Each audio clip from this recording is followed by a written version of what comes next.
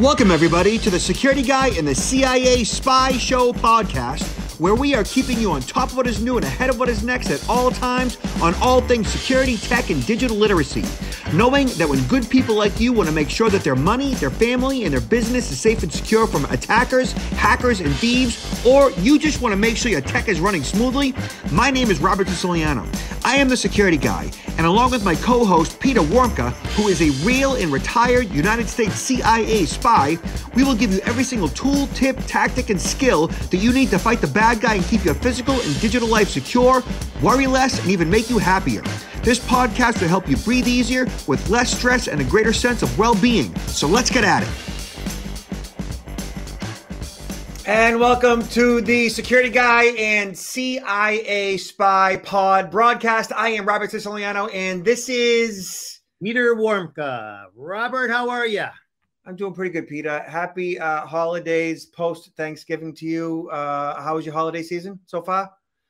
Uh, so far, well, so far pretty good. I think we got some family members that maybe came down with COVID though, but it's going around. It's going around, uh, I'm, and I'm traveling a lot, and I, not many people are wearing. Nobody's wearing a mask anymore, and I'm just constantly hearing more and more stories of people getting COVID, like when they're coming back on the airplane. It just seems to me the airplane and the airports are really, really kind of risky areas these days, especially coming back on these long flights from international trips. Yeah, a lot well, of. Kids. Yeah. Uh, well, people are filthy animals you know? well, this too. This too.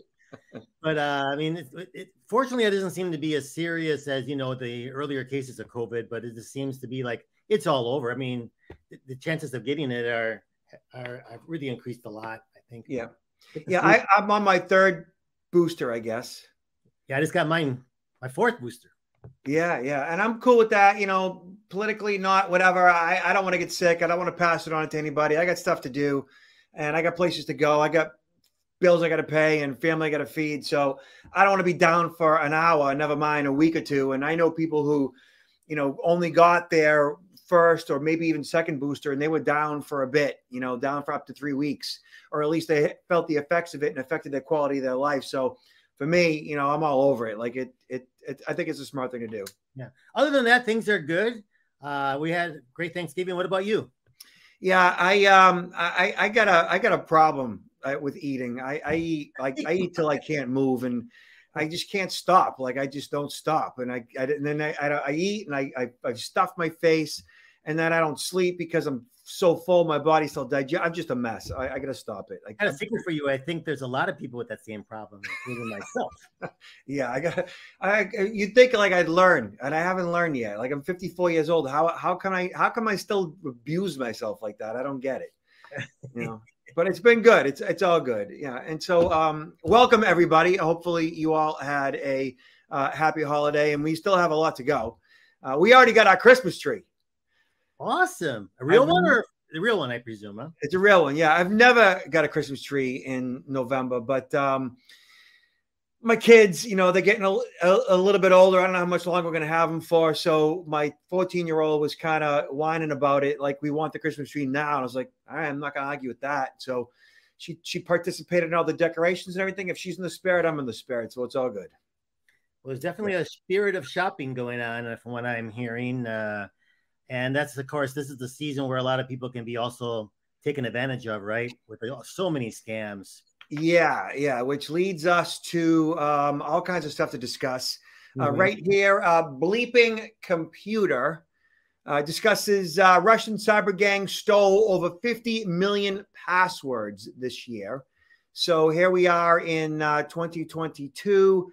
And uh, this article came out right before the holiday. At least 34 distinct Russian speaking cybercrime groups using info stealing malware, malicious software like Raccoon and Redline, which is the name of the malware, have collectively stolen over 50,000 account passwords from over 896,000 individual infections uh, from January to July. That was like in the first seven months. The stolen credentials were for cryptocurrency wallets, Steam, Roblox, Amazon, and PayPal accounts, as well as payment card records. So 111 countries were targeted, US being the biggest one, then Brazil, India, Germany. Uh, rise of info stealers. So let me see 34 active cybercrime groups, password stolen 50,000 plus, cookie files exfiltrated 2 billion. Uh, crypto wallets breached 113,000, payment cards compromised 103,000. So I wanted to go to where uh, the oh right here, the workers uh, are responsible. Workers meaning the hackers are responsible for driving traffic to the malware dropping sites, which they do by using YouTube videos. So they're using YouTube as a platform to spread malware. Black SEO, SEO poisoning, laced torrent files, or malicious social media posts. Peter. Well, this is very interesting because they're using YouTube. You know, uh, I love YouTube. I think a lot of the uh, listeners do too. And, and when you start watching a particular video or two, all of a sudden YouTube is going to use its algorithms to push out more videos uh, that, that will appeal to you. So if they're using YouTube, they're probably making a variety of types of YouTube videos that will be attractive to a, a wide audience. And I'm thinking that this is much more serious than just reading the how many passwords in total. I mean, this is the tip of the iceberg because we talked about this before, Robert. And most individuals, the majority of individuals, do not have a unique password for every single account that they have.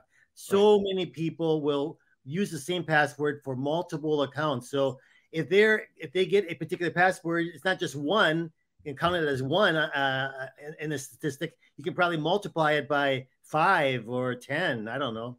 Right.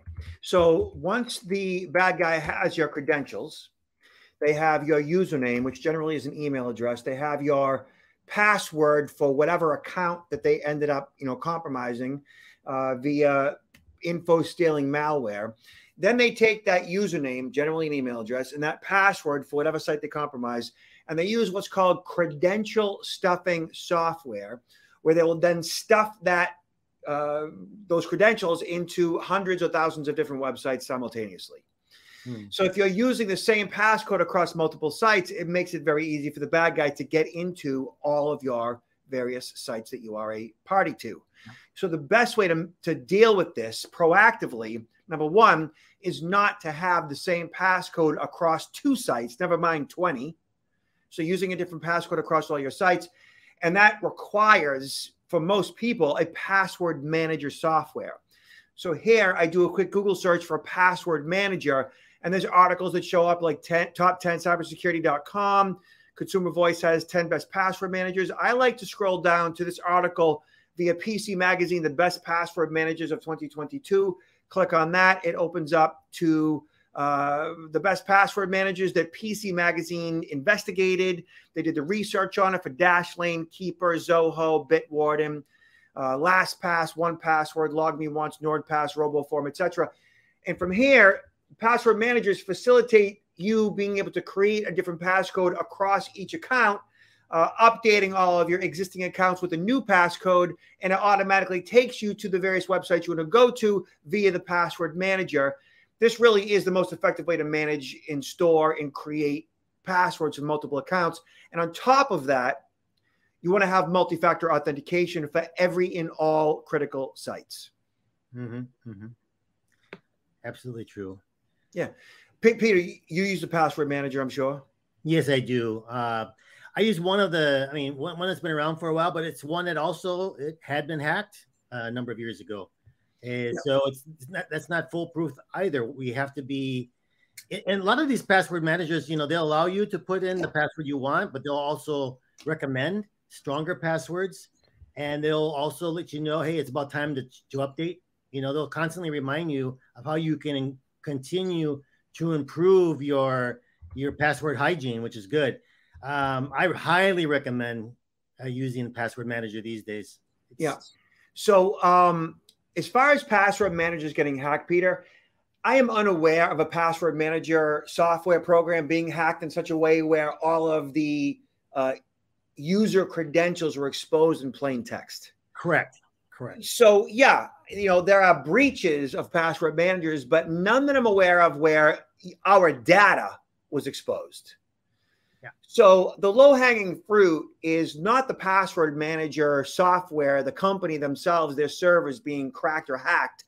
The vulnerabilities are the low hanging fruit where the users are using the same passcode across multiple accounts and their credentials are being stuffed into various sites. So if you're not using a password manager, people, then chances are you have the same or similar passcodes across multiple accounts.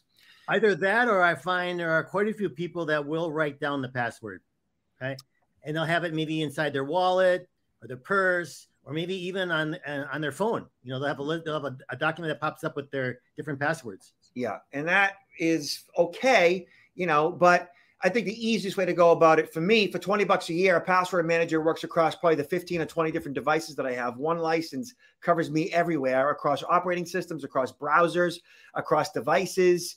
And uh, look, if something happens to me, like if I die, my uh, wife and kids have access to my password manager to settle my affairs, to get access to all of our accounts and so forth. So it's a great, you know, tool for the afterlife as well, as morbid as that sounds. Yeah, good point there.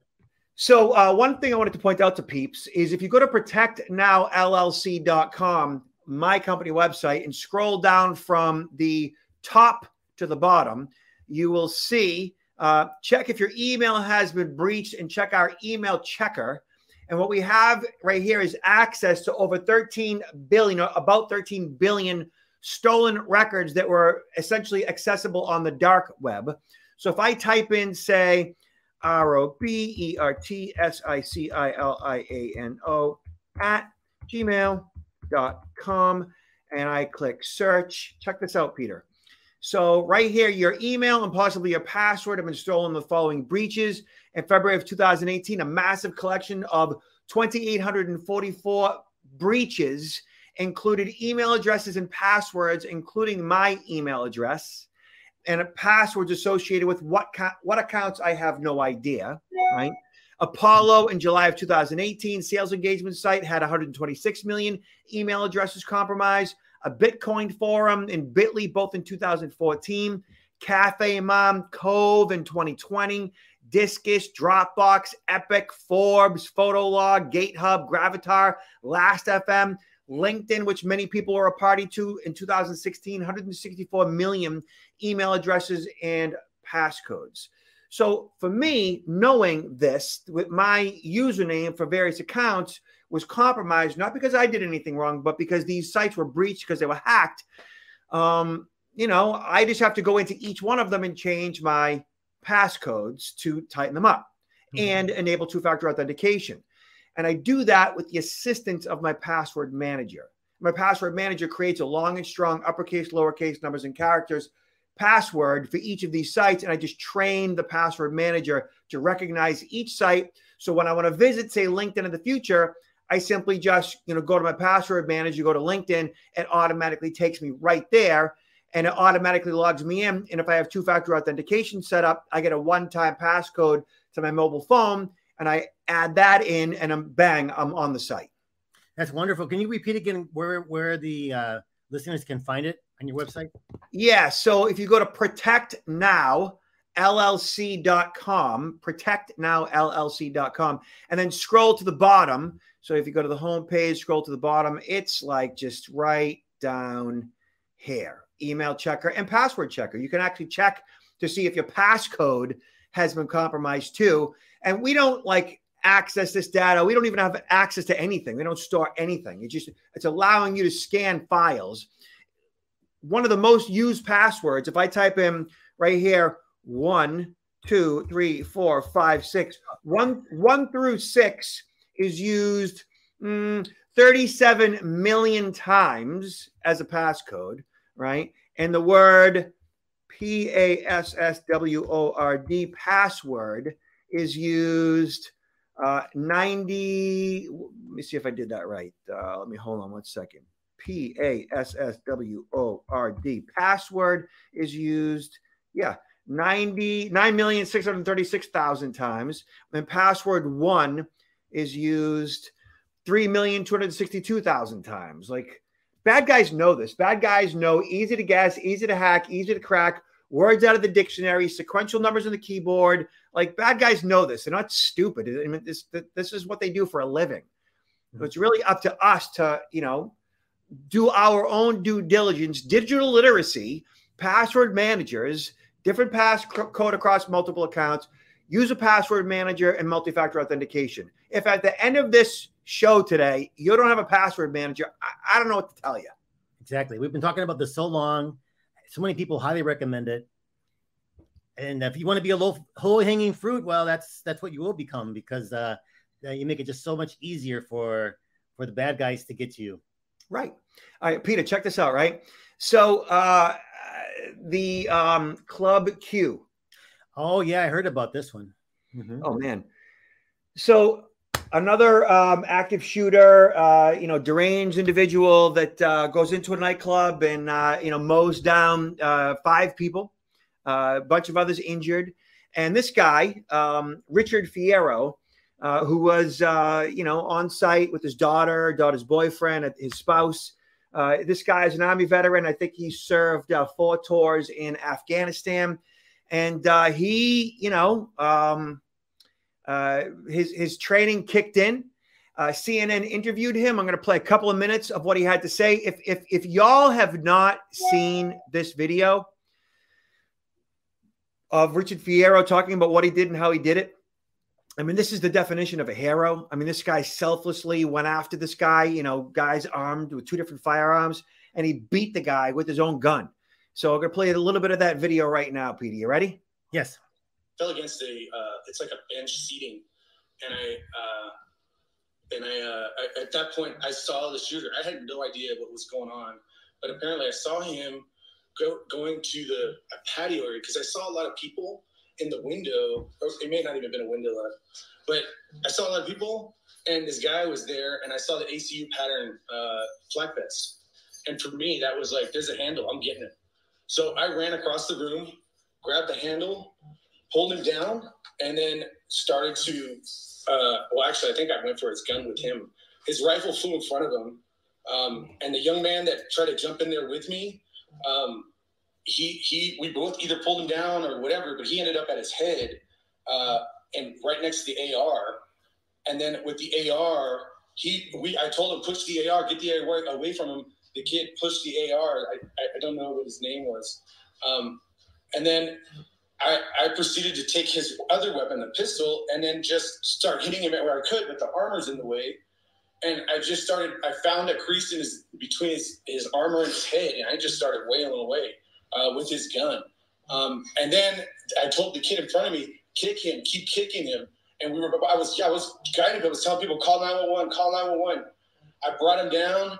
I, I, I was in mode. I was I was doing what I did. I do downrange. You know, I train. I trained for this. I don't want to ever do this. I, I didn't even retire because I was just I was done doing this stuff. It was too much, and uh, I, I you know it came in handy, and, and I got to protect my my kid. I lost my kid's boyfriend. I tried.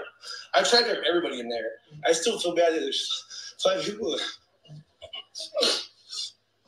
It's five people that didn't go home. And this this guy, I told him while I was him, I said, I'm gonna kill you, man, because you tried to kill my friends. My family was in there. My little girl was in there with her. We are so sorry for the loss that you and your family have gone through, uh, for the loss of your daughter's boyfriend. And we are so sorry for your two friends that are still recovering in there.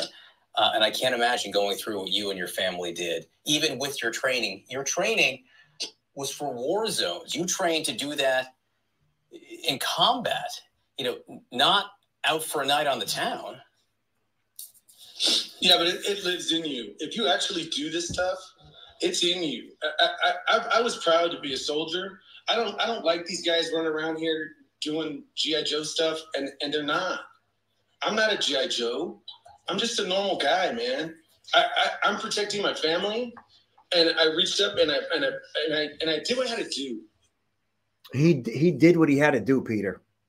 Yeah, and I think that what one of the big points here is the um, training and conditioning he had that he received while while in the military, where he just kicked in automatically. And we talk about this a number of times. Is the whole uh, for us in where situational awareness comes into play and is so important. And I I don't think I ever talked about this, Robert, but when I first started out in the CIA, I actually went to a two week, really intensive course that became instrumental for me in developing situational awareness, uh, whether you were in a car driving and be constant, consistently aware of who was in front of you, who was in back of you, who was on each side. When you get up to a traffic light, always leave enough space between your car and the next car that if something happened, you could get out of there and you weren't penned in. Always looking for what's going to be my escape if something were to happen.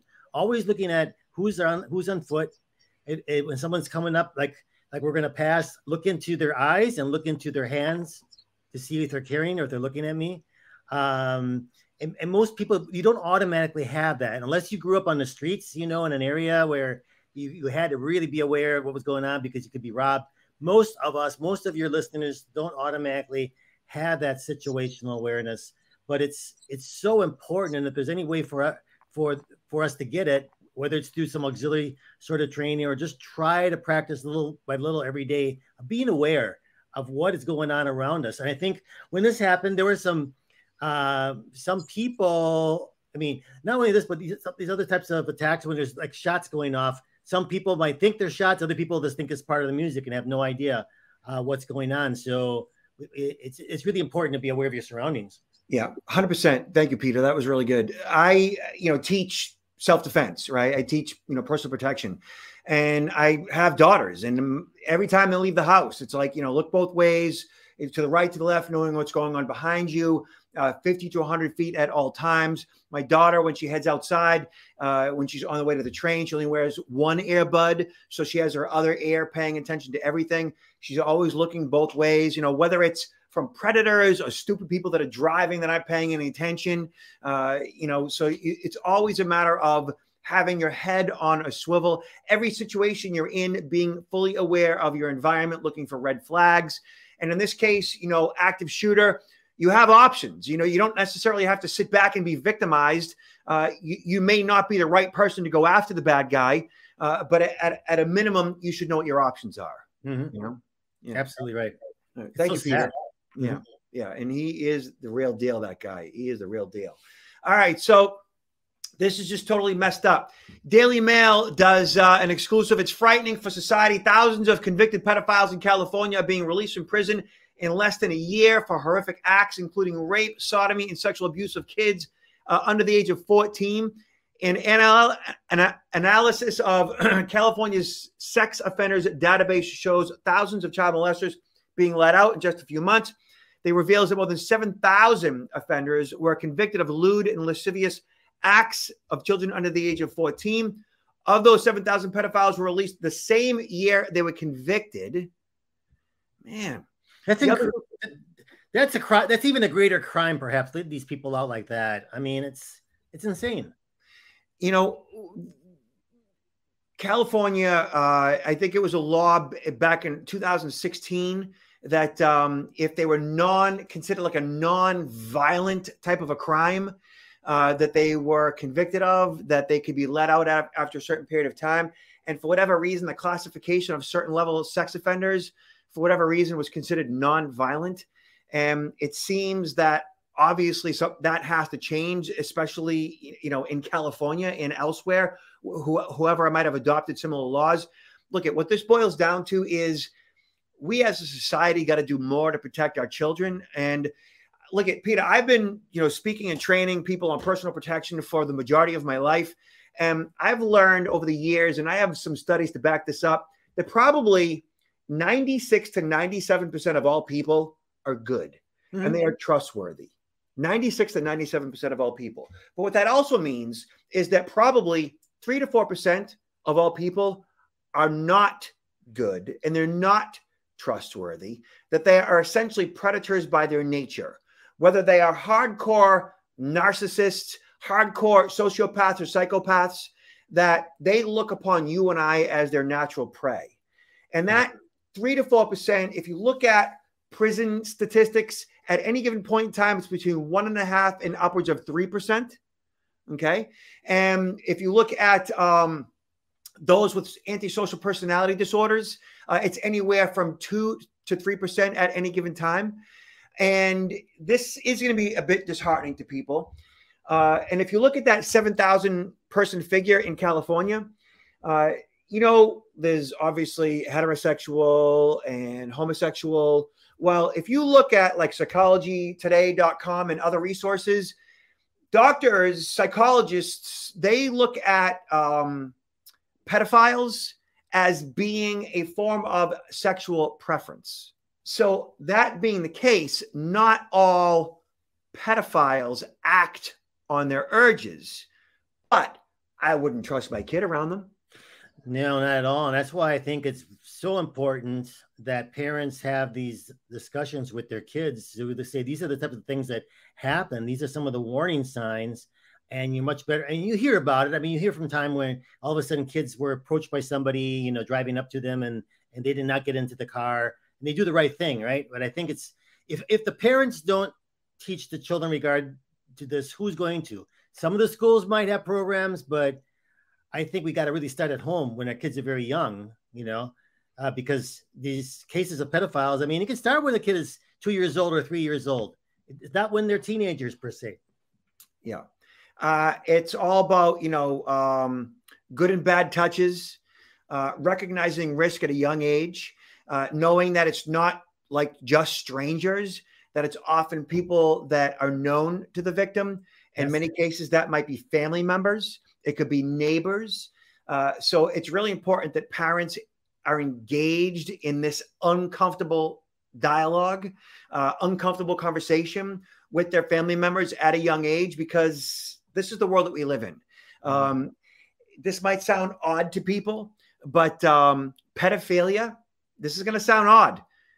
Pedophilia is normal. And what that means is it doesn't mean it's okay. It doesn't mean it's acceptable. It means that it's always been like that. It is, and it always will be like that. And these people are, in a sense, you know, just like us. I mean, not necessarily in our preferences, but like they're all around us. It's it's not okay, but it's normal in the fact that it's always going to be like this. Yeah, I agree with you. It's been around since the beginning beginning of time, and you're right. There, there's people that if you if you see them, you interact with them, you think they're like anybody else but you know they have that that side to them. Yeah. So uh, Peter, uh, tell everybody what you are up to, where you're at, where you're going to be. Well, I just came. I just came back. I usually shouldn't say where I'm going, right? You say after you come back, it's safer to say where you've been.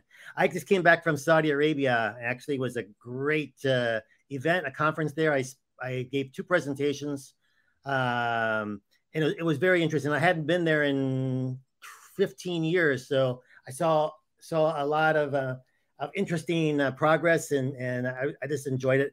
I uh, also came back from DC last night. I'm uh, working on a project uh, with Wondrium to come out with a program that's going to be later in the year available called How to Spot a Liar and Get to Fun. the Truth. Yeah. yeah. And I'm going to be traveling um, in a very, very near future. I won't say exactly when, in the very near future to to Mexico. And I'm speaking at a one of the largest um, uh, banking conferences in Latin America. So I'm looking forward to that. That's exciting. And provide everybody with your website. Yes, counterintelligence-institute.com. And actually, I feel kind of generous right now, Robert. Within 10 minutes of this broadcast finishing, I'm going to provide, uh, I'm going to be, I'm going to offer my feature course, Confessions of a CIA Spy, The Art of Human Hacking, with a 50% discount. Just use the code SPY50, S P Y 5 oh, okay, five zero. And and uh, that'll be up there within 10 minutes for the first 50 people that get in there. We'll get it, but give me about 10 minutes to update the site. I I say this is like an entire career of experience and insight put into three hour course. So it's I consider it pretty uh, pretty interesting, pretty invaluable if, if you're interested in this type of thing. And that's at counter-intelligence.com. No, sorry, counterintelligence-institute.com. Ah, Thank you. Sorry. That's right. Thank you. One more time. One more time. Counterintelligence institute.com. Feature. Perfect. And you can see me and my team online at protectnowllc.com. And Peter, final words. Robert, take care. And everybody listening, take care. Uh, look out for each other. Uh, be aware of what's going on. And when you can help somebody who's in uh, distress, like that gentleman we saw, go in there, you know, and, and help help our fellow human beings out because a lot of people do need help uh, in de- different kinds of situations. So let's be on alert. Thank you, Peter. Thank you.